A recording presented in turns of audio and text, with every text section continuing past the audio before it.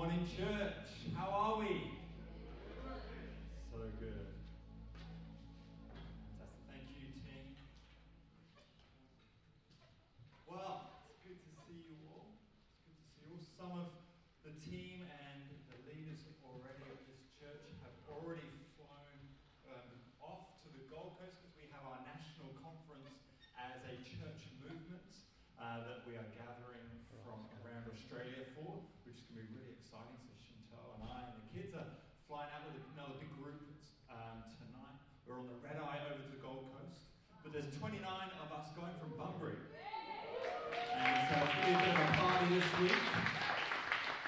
It's going to be a great group who are going to be invested into and have their, their, their faith stirred this week, which we're so excited about. Do you know? I, I preached a couple of weeks ago and I shared a story with you right at the beginning. We were talking about um, Jesus teaching his disciples to be fishers for men. And I was talking about how Donna had shown a whole bunch of photos of amazing fish. And um, amazing fish. And I basically said to you, all I've caught is blowfish. But since that moment, things have changed. Are you ready? Are you ready?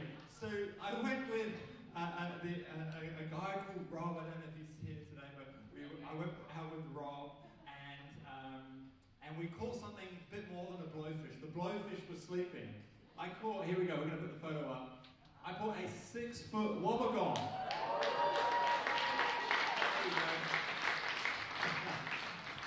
I was as surprised as you were it wasn't a blowfish. It was a mighty fish. It was 50 kilos.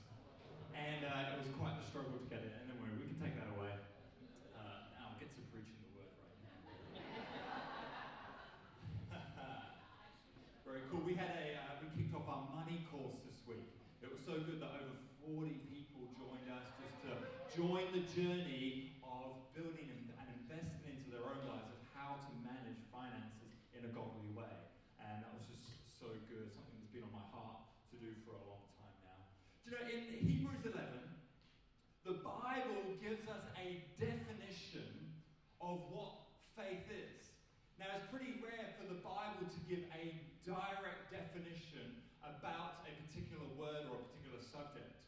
Um, it's more done in an indirect way. But here in Hebrews 11, verses 1, we read in the New King James Version Now faith is the substance of things hoped for, the evidence of things not yet seen. Now, faith is the substance of things hoped for. It's amazing that faith is a substance. Everyone say substance. Substance is something if you touch the chair next to you or the person next to you, that's a substance. It's a thing, right? It's a thing. Faith is a thing.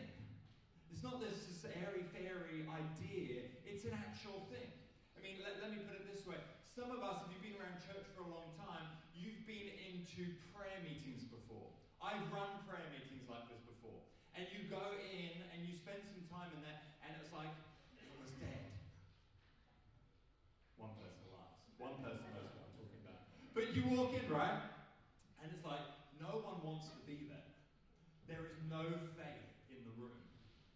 But I've been in environments, even sometimes over coffee, I've been talking to someone, and the faith that's just poured out their mouth is something that just grabs hold of me. And suddenly, in that moment, I feel like I can believe for great things as well. Because faith is not just this idea. Faith is a substance. It's a thing that we that, that, that God has, has given us things to hope for, the evidence of things not yet seen. Faith is something that we all carry. We know in Romans 12 that we have all been given a measure of faith. We've all been given a measure of faith. Do you know what? This week, I know that, that those who are going from Bunbury to the conference, I know that their faith is going to come back stirred. I know that their faith is going to come back expanded as they encounter God in a fresh and new way Do you know why? One of the reasons, and Beck, thank you so much for that personal story, encouraging us in the conference. And I want to add my encouragement to you. Let's mark that weekend as a weekend where we encounter God together. Amen. That we all together draw closer to Jesus. Because that weekend is, we, we've put that aside to build faith. Because something happens when a group of people gather together. That we, something within us, we touch the substance of faith and it expands us. It calls us and moves us from this place where we're living into a greater reality as we begin, begin to believe for the things that God wants us to hope for and believe for. Amen? You know, often Paul writes in his Pauline epistles, we read in the letters he penned uh, how he had seen faith, heard faith, and how faith was communicated. And if we just throw this up, these three scriptures, the first one in Romans, your faith is being reported over the world. Wow, Ephesians 1.15, ever since I first heard, everyone say heard, heard of your strong faith in the Lord Jesus and your love for God's people everywhere. Colossians 1.4, these are different churches, different groups of people. For we have heard of your faith in Christ Jesus and your love for all of God's people. Paul had heard about people's faith. Faith is not just this idea, it's something that is all within us. It's a substance, it's something that is going on. I wonder what Paul would say about this church. I wonder, would he say, I see your faith? I've heard about your great faith. I heard how your faith has turned to love for your community. What would Paul say about this church? Because I believe God is calling Dreambuilders Bunbury to be a church of great faith. I believe He's calling us to be a church that has a faith that's seen, a faith that is heard, a faith that can be felt. Amen? Come on, does anyone want to see that kind of faith? Because I believe that when we have a church like that, you can walk in and you can be in your lowest moment, but just because of the faith of someone else, you yourself can be lifted. Amen? You yourself can go and move from hopelessness into hope filledness. That is the power of an environment of faith. That you can come in sick and you can leave healed because someone chose to believe that Jesus changes lives. Amen. That see, we don't preach a dead gospel. We preach a gospel that is full of faith, full of confidence in the hope saves, that Jesus heals, and He delivers the oppressed. He did it yesterday, and He will do it today, and He will do it tomorrow as well. Come on, let's give Jesus a praise this morning. He's calling us to be a people of great faith. You know, I'm so excited that as a church we are moving into uncharted territories that we haven't been in for a while as a church. You know, we, we, we, we, we worship today in that was sown into and sacrificed by a generation that have gone before us. That we get to enjoy worship in the chairs and the sound system because a generation ago they said, you know what, we want to sow into seeing a church on this site. Amen. We get to enjoy it and we're so thankful for it. But we're now moving into a new time, into a new season where I believe collectively we need to have faith for the new thing that God is wanting to do.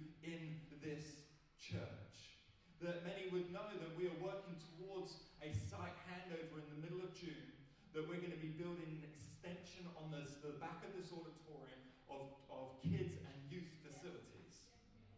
It's going to have four multi-purpose rooms. It's going to have a new office for the staff, moving them from the edge of site and moving our staff uh, and an office into the center of the school site. It's, a, it's, a, it's an around a $3 million project that we are embarking.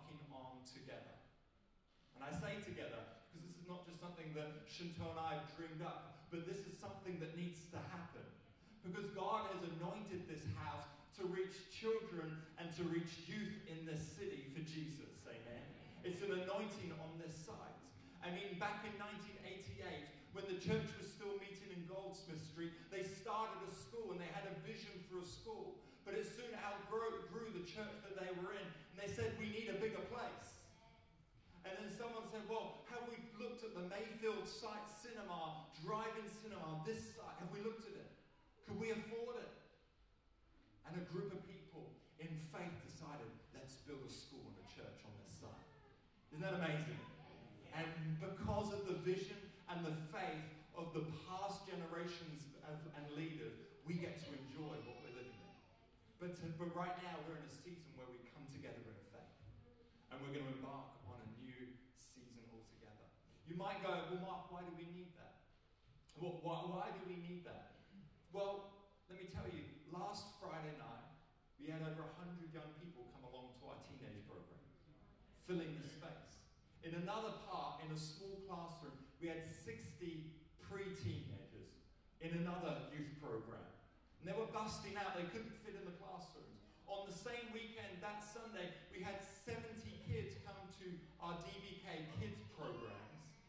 they couldn't fit in the classrooms. Therefore, there's never been a better time to begin this build. And it needs us to rise up in faith. I love what it says in Nehemiah let us rise up. It's not, oh, let the leaders rise up. No, it's let us rise up into the things of God together. Come on, who's gonna who's ready to rise up together, amen?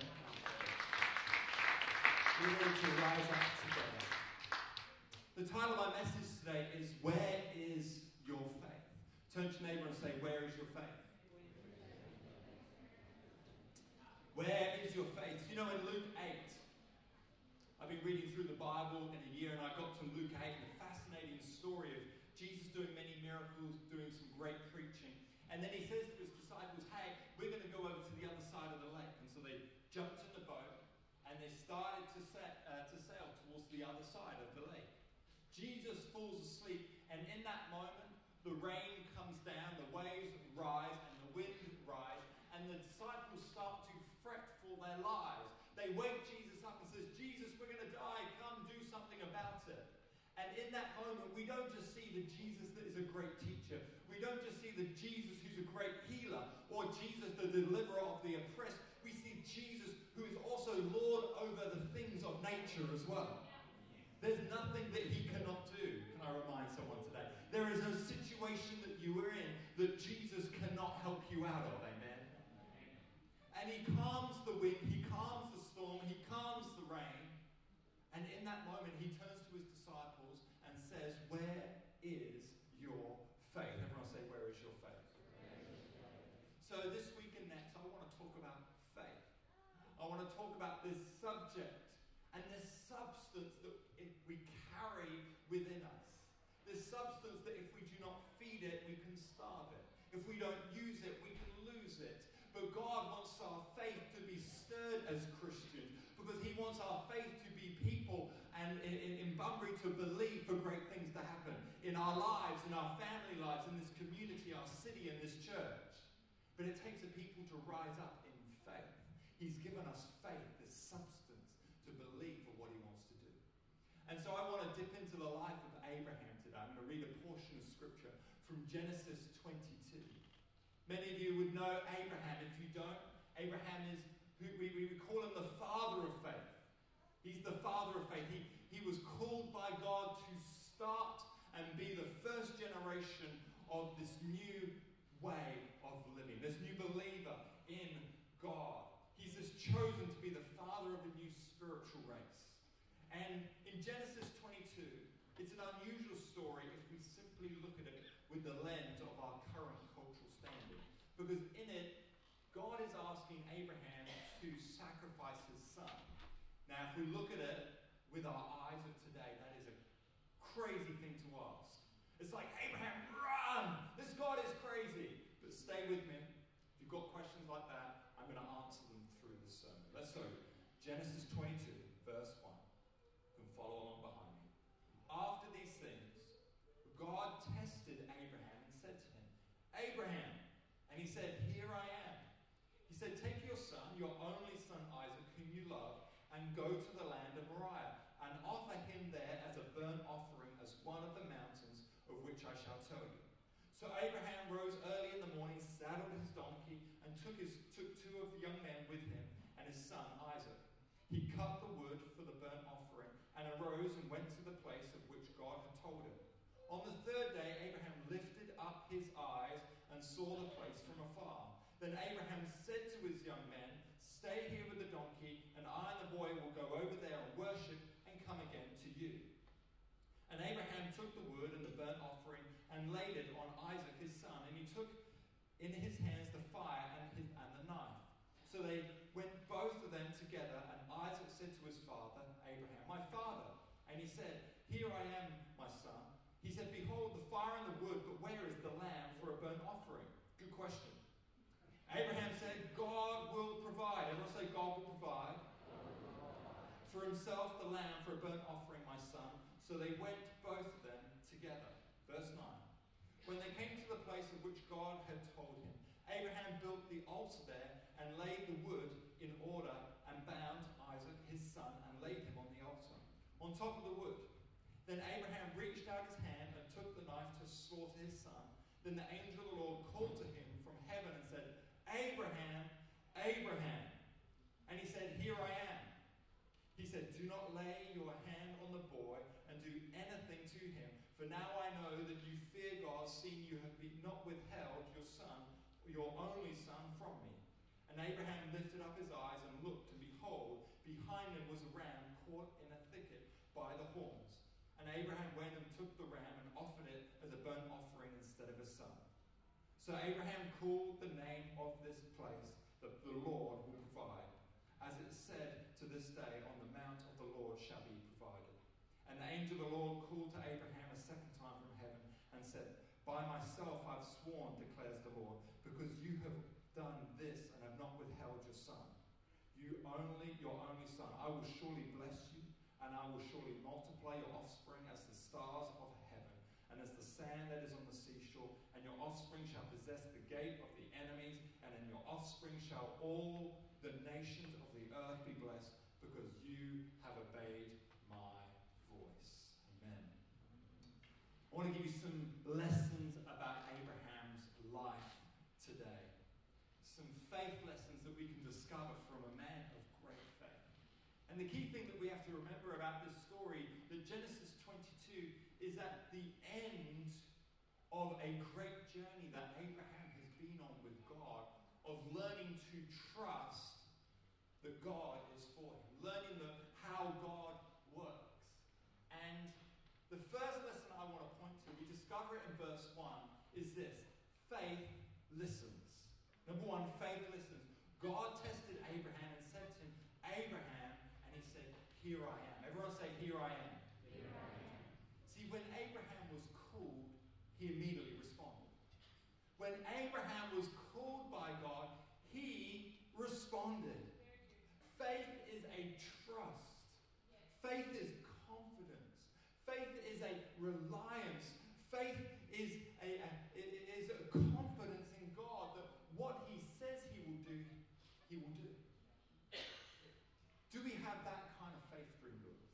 That kind of faith that when God speaks to us, that we will respond. Because when Abraham was called, he responded. Abraham's quick answer to the call was a wonderful example of how to live as a person of faith. And if we are to be a people of faith, we need to be quick to listen. Everyone say quick to listen. We need to be quick to listen? Do we respond to God with such a swift listening ear? Are we ready to hear when God is speaking to us? You know, those of us in here that have kids or have had kids and they're now grown up, you know, we have that job of trying to get our kids to listen. We use all kinds of techniques to get them to listen. It always starts off in this good, measured way. We say, hey, kids, come over here. Kids, do this. Kids, I need you to do this. Or oh, all, and we use techniques like the one, two, three. And so often it's four, five, six. And so often we start off soft, and sometimes we end up in a sort of a tone and a, and a volume we don't wish to always use. One week, a couple of weeks ago, I, we, were, we were debriefing as a staff team on a Tuesday. And we were talking about all the activities and the ministry activities that happened during, during the week. We always share testimonies. We talk about the people that we met on the weekend. And the kids leaders quickly packed up and they quickly told us a story that on Sunday after church, during the checkout line, when people were collecting their kids, this one mum came to the front of the line and she simply said one word. And all these kids immediately obeyed. And the kids leaders, as they heard this, they were like, they were amazed. It's like, what is it with this woman? What is this word? What is the secret? do you know what? Abraham, he listened.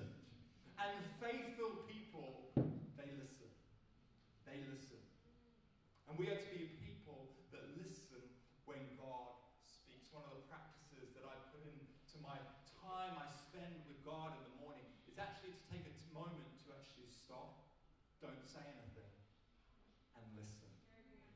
I imagine myself sitting with Jesus in that moment, however you want to imagine him to look. And I imagine just to sit with him. And I wonder and ask myself, what do you want to say to me? Because I want to listen. I want to know what Jesus has to say to me. And often I write in my journal these words that I, that I just feel on my heart to write. And as I read them back, I look at them and go, I wouldn't say that myself. And that's actually how I learned to hear the voice of God. Someone encouraged me, hey, Mark, just sit and listen and just write in your journal. And then over time, read it back, and you'll discover those were not your words that you would think about yourself or things that you would think. And so, can I encourage you? How do I listen? Well, let's just be people that stop because He wants to talk. He wants to talk to us. If we're going to be a faithful people, the number two is this faith prepares. Faith prepares. We read in this scripture in verse 3 So Abraham rose early in the morning, saddled his donkey, took two of his young men with him, and his son Isaac, and he cut the wood for the burnt offering. He prepared based on what God had asked him to do. He prepared. Do you know what? I was having a conversation recently, and someone was saying, Hey, Mark, I really believe in my heart that God's, God's got this in my future for me. And I just encourage him and says, You're doing great preparation for that. He's someone that's in our leadership college. He's positioned himself for what he's sensing of a leadership call on his life. What is he doing? He's preparing himself for where he feels God is directing. At the age of 20, when I was in full time work back in London, I felt God say to me, It's time, I want you to go to college. I want you to go to Bible college. And I began to make those preparations. I began to look at different colleges. I had this leadership call in my heart. I didn't know quite how it would look. And I just began to make the necessary preparations in order to step in. If God has spoken to you, can I encourage you, perhaps take the necessary preparations to begin to move in that direction. You might not be ready to, to completely fulfill what God is calling you to do, but you can make preparations. You can make preparations. Maybe He's calling you into something. Well, maybe your first preparation is just to begin to have a devotion life with God. Because He wants, if He's calling you into something, well, you better have a relationship with Him. Maybe He's calling you into ministry. And there's a call of God in your life. Make preparations. Don't just sit back and think it's just going to happen. Make the necessary preparations. Abraham, he cut the wood. He saddled the donkey. He prepared his men. He got, he knew where he was going to go. He made the preparations. People of faith prepare. Number two, number three, sorry, is faith obeys. Again, the same scripture, and they went. And they went. They began to move in the direction. He was obedient. Upon hearing this crazy demand, Abraham prepares his things to do what God has asked him to do. And what we discover through the life of Abraham, something that is a common element right from the beginning when God first spoke to him, is that Abraham always. Even when it didn't make sense. Everyone say it doesn't make sense. Do you know when God calls, it doesn't always make sense. When God, when I felt God say, give up your job, I had a boss that had a great five-year plan for me. I had a great pay package. I had great colleagues around me. I could see my career path. It did not make sense to go to n- no money on the other side of the world in, Aus- in, in New Zealand. It did not make sense be obedient to God's word. But God wants us to be obedient when He speaks. When He speaks, let's be people of obedience. You know, Abraham's life is punctuated with times when he was obedient to God. Do you know when God first called him, he said, Abraham, I want to leave the land of your fathers and I want you to walk in the direction and I'm going to show you something. He didn't even have certainty, yet he obeyed. He was obedient to the call of even to believe for a, a son to have an inheritance one day. He believed God and waited in faith. And once again in Genesis 22, we see again he walked out in faith with his son Isaac. You know, we're called to be a people of faith. We're called to be a people who don't just hear the word, but we do the word. See, we don't want a church here that's tickled in our ears on a Sunday morning, then we go and live a completely contrary life to what the Word of God is saying. No, we're called to live the way God has asked us to live. You know, people of faith, we don't just, just sit here, and, but we, we are to be people that are to be obedient to His Word.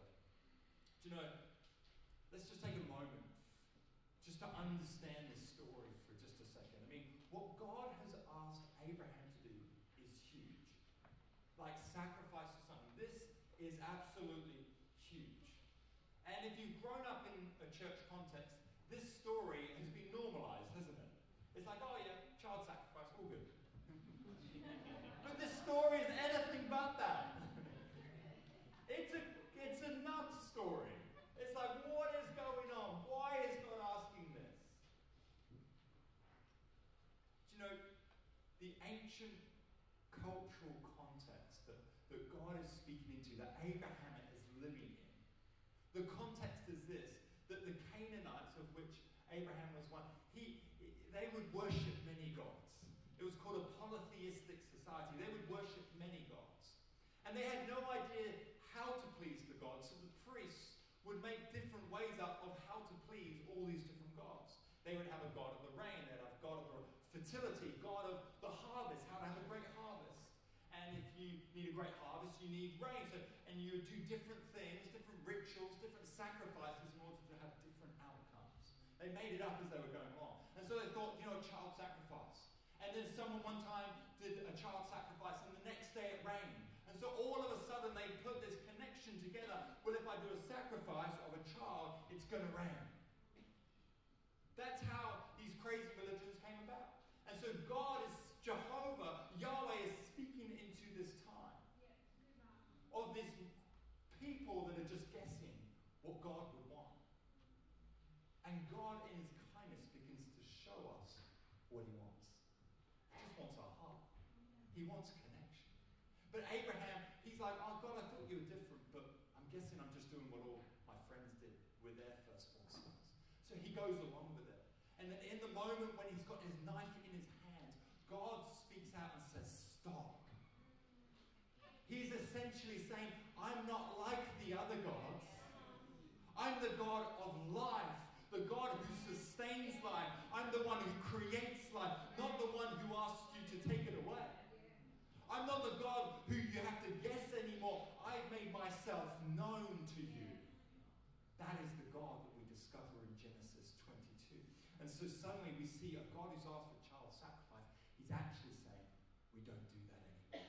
I'm not that kind of God. I'm kinder and I'm nicer than you ever thought I could be. That is the God we worship.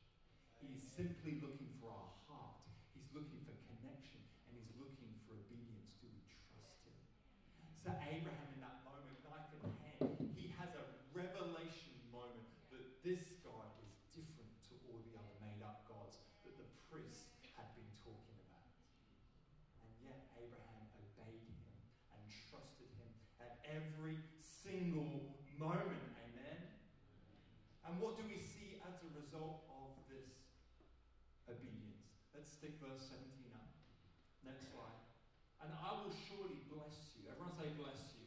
And I will surely multiply your offspring as the stars of heaven and as the sand that is on the seashore. And your offspring shall possess the gate of his enemies. And in your offspring shall all the nations of the earth be blessed because you have obeyed my voice. Everyone say with, say with me, because you have obeyed my voice. Everyone say it with me, because you have obeyed my voice.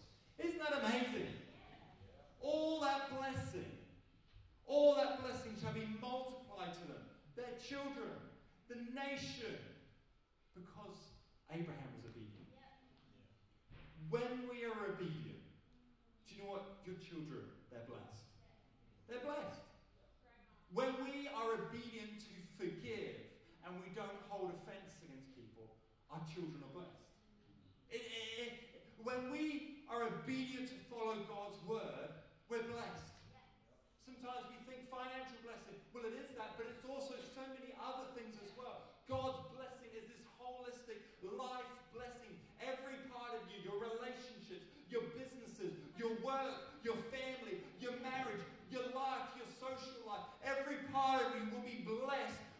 choose to listen, prepare, and obey. And that is what it calls to be a people of faith. Amen? Amen. Come on, can we give Jesus a clap of praise? He's made himself known. You might be thinking, well, you know, if God spoke to me like Abraham, then I'll obey. I'll just wait to listen. He, can I tell you something? He's made himself known in the scripture. His words are found in scripture. We can obey him right this second because his words are already found in the scripture. So when he says, Love me, we love him. When he says, Love others, we love others. These are the commands that we find in the scriptures and so many more. Another thing we need to know is uh, about being people that walk as faith people. Number four, faith knows where to look. Yeah. Faith knows where to look. In verse 4, on the third day, Abraham lifted up his eyes. Everyone say, lift up their eyes. And saw the place from afar. Verse 13, and Abraham lifted up his eyes. Abraham had this great ability to look up, to lift up his head, to change his perspective.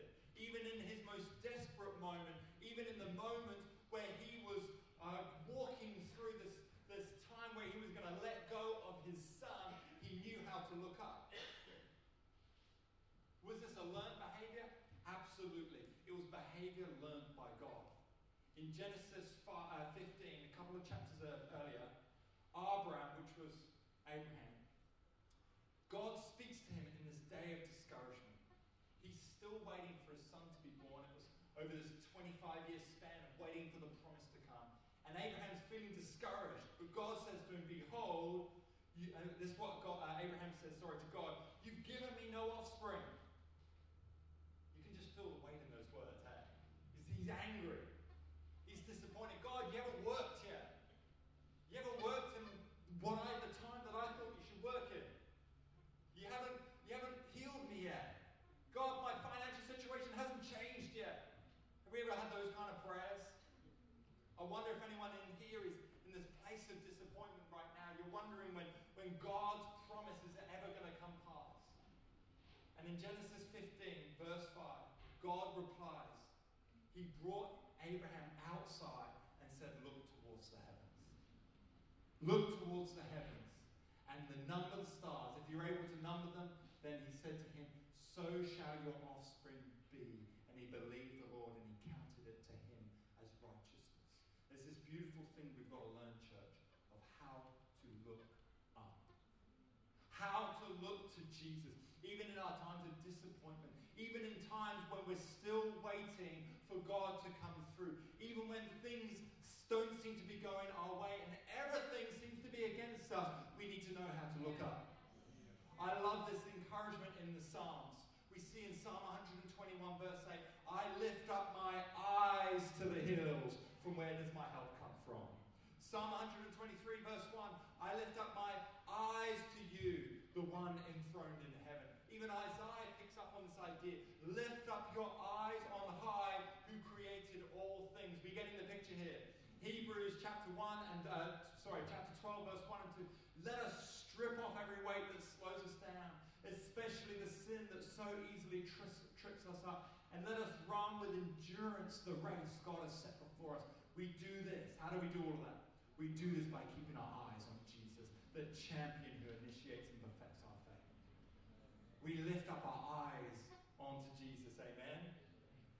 How is our faith perfected? How are we setting our sights on Jesus? That is the answer. Too often, our sights get stuck. Too often, our sights are getting stuck on the things of the world. We're distracted by the things and the temptations of this world, and our sights fall from the things and the passions that we used to have as a young Christian, and suddenly we get distracted by the world around us. And we take our eyes off Jesus. Do you know what? There's so many distractions that want to distract you from the Lord's work. There's so many things that want to take eyes off being a person of faith to just being a someone who just comes and sits and warms a pew on a Sunday. But we are to be people of faith. We need to fix our eyes to Him in the heavenlies. If your sights have dropped, let's be a person today that, like Abraham, we fix our eyes on Jesus. We lift up our heads and we cast our eyes onto Him. The next idea of to be a person of faith is that faith is rooted. Faith is rooted. In verse 7, we discover Isaac said to his father Abraham, My father, he said, Here I am, son.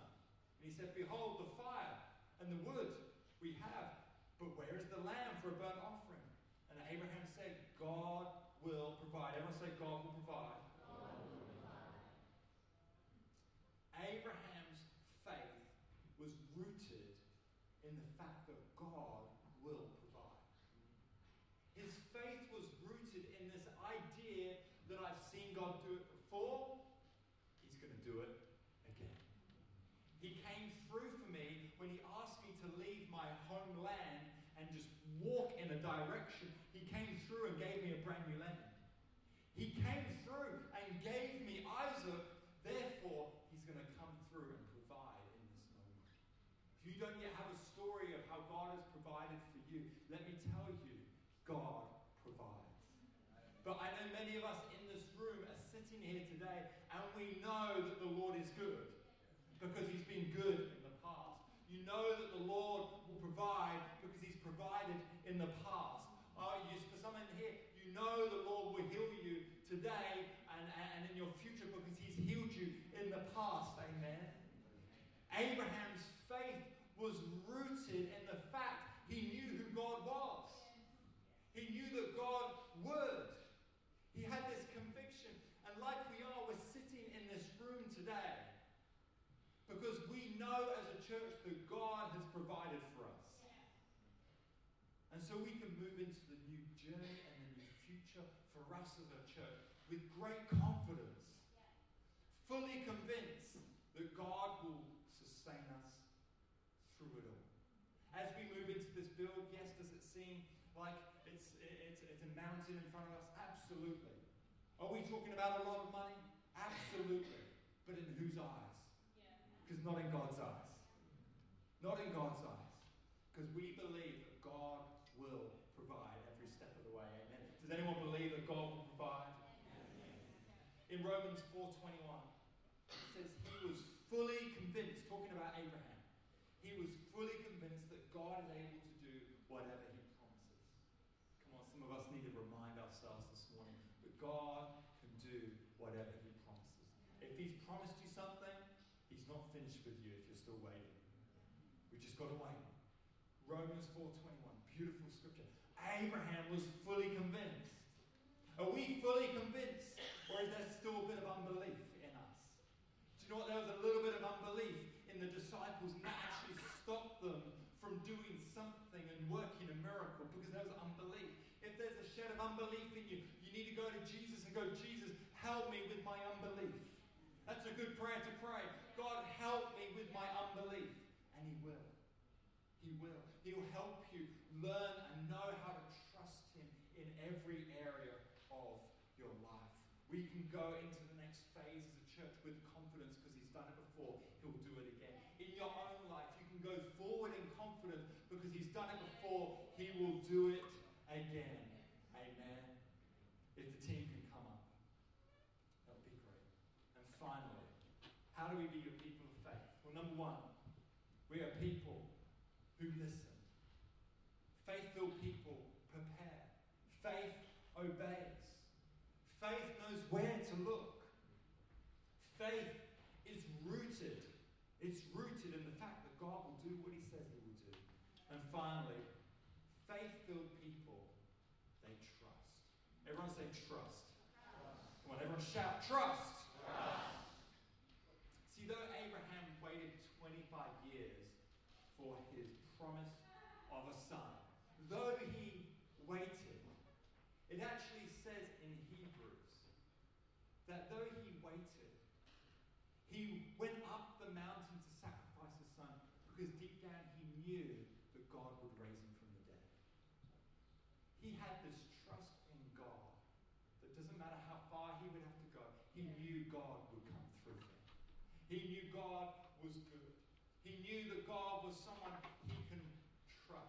In Genesis 22, again, the angel says this. But the angel of the Lord called to him from heaven and said, Abraham, Abraham. And he says, Here I am. He says, Do not lay your hand on the boy or do anything to him, for I know that you fear God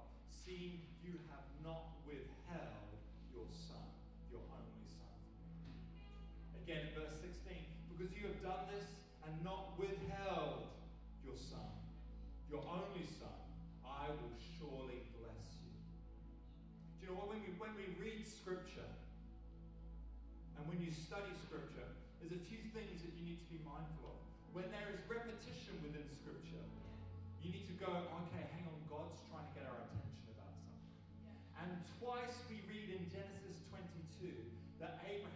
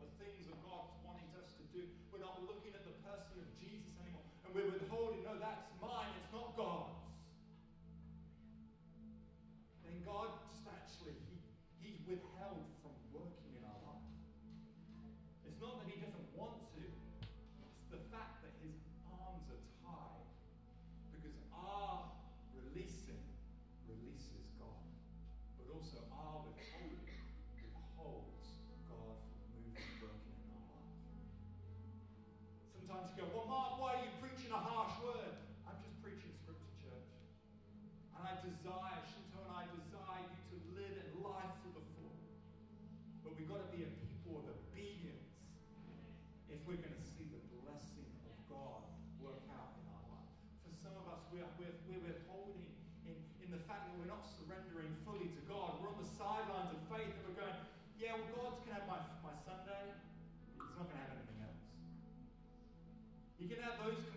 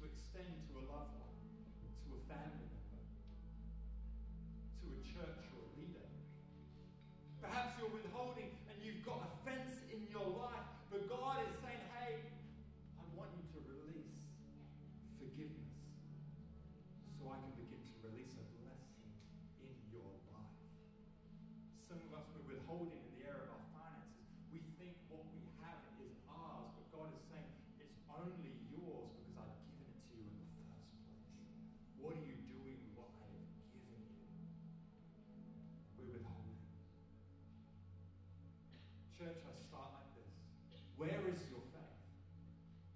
As Jesus turned to his disciples in the boat, he said, Where is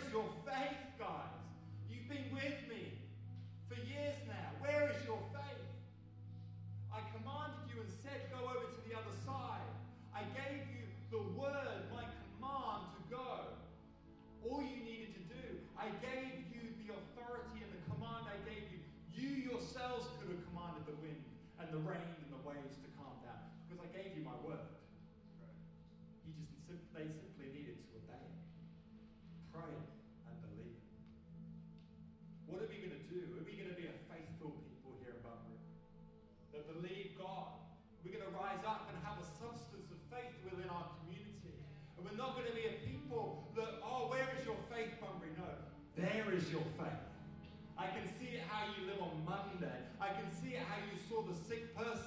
decided, well, I'm gonna, I'm gonna give an opportunity for Jesus to work through my life. Whether he does or not, I'm just gonna be obedient and I'm just gonna pray for that sick person in my workplace. I don't care what people look, uh, think of me anymore. I'm just gonna be Jesus wherever I